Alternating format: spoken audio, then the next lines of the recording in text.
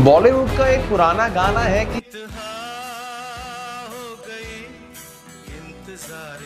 और अब यहाँ पर विराट कोहली के फैंस का इंतज़ार ही है, जो शतक की तरफ़ बढ़ता ही जा रहा है। लेकिन इन शतकों के बीच में कुछ पुरानी यादें ताज़ा करते हैं, जहाँ आज हम आपको बताएँगे विराट कोहली के सबसे तेज पाँच शतक, जिसमें पाँचवें नंबर पर आता है। 2013 में आया हुआ वेस्ट इंडीज के सामने इक्यासी गेंदों में शतक जिसके अंदर विराट कोहली ने तेरह चौके, दो छक्के जड़े थे।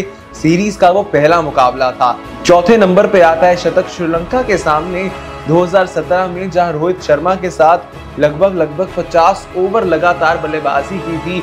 विराट कोहली ने छिहत्तर गेंदों में शतक आया था। 2012 में श्रीलंका के सामने आया हुआ शतक, जहाँ भारत को टारगेट चेस करना था। लिमिटेड ओवर्स में बोनस पॉइंट पाने के लिए उसमें कोहली ने सिर्फ़ छिहत्तर गेंदों में जड़ दिया था शतक।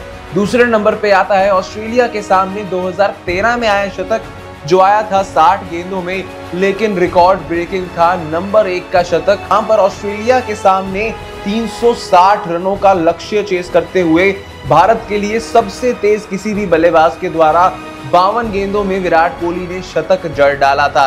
क्या कहना है आपका विराट कोहली की सेंचुरी के बारे में? बताइए हमें कमेंट सेक्शन में और फॉलो कर लीजिए हमारे चैनल को। जानने के लिए क्रिकेट से जुड़े ऐसे ढेरों अमेजिंग फैक्ट्स